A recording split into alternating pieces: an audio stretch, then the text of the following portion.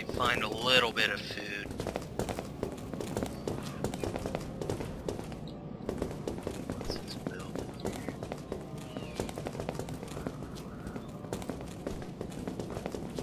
Bank. And you might find a little bit of food, but I highly doubt there's much in there. I never really searched one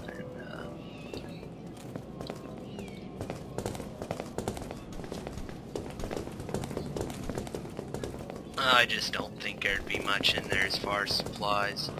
But I might be surprised if I ever do check.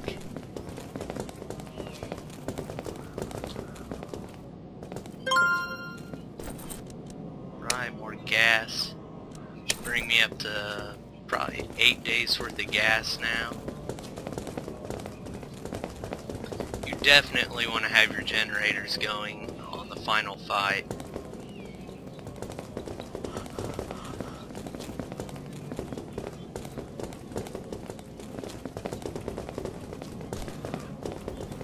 Probably won't get as much as far as supplies, but this might give me an opportunity to possibly do two weapons missions if I do them fast enough. Um, I highly doubt it, honestly. About four hour trip there and a four hour trip back. Not to mention the trip time for this, it's already 9 a.m. Probably be about noon by the time I get back to base. I might find more fuel too. Alright. It's 10 days worth of fuel.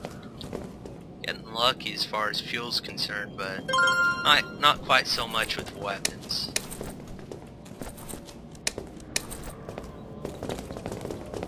Probably more medicine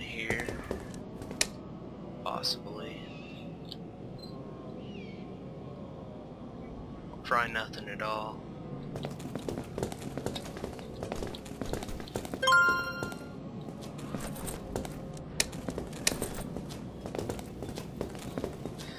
Check one last time, may as well. If I hadn't found it by now, though, probably wouldn't be anything there. Okay. I'll just head on back. A little bit of food. A little more ammo for 303 Lee Enfield. Make sure a little closer just in case. Wouldn't want to leave someone. Okay. Got back before noon. That's good. Just offload stuff don't need. Some more ammo.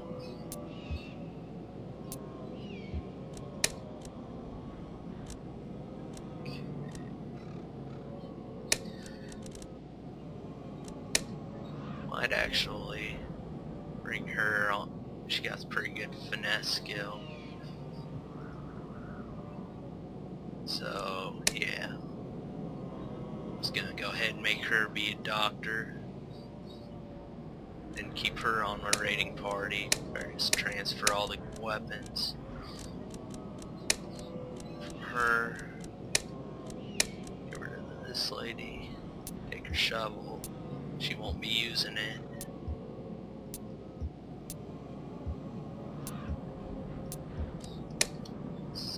Starting to get a little low on that, but hopefully by the time I find more weapons and stuff, I can give her a better pistol.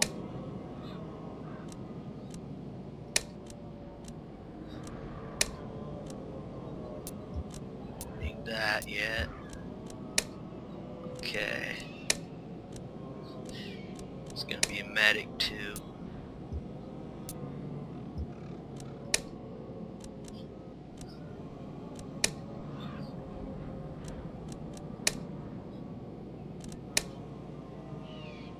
think I can afford to give the kid a little bit of shotgun ammo just in case base gets attacked whatnot. Won't be much. Get the shovel. Okay, and uh, I think that's it for today. Well, not for today, but for this part of the walkthrough gameplay.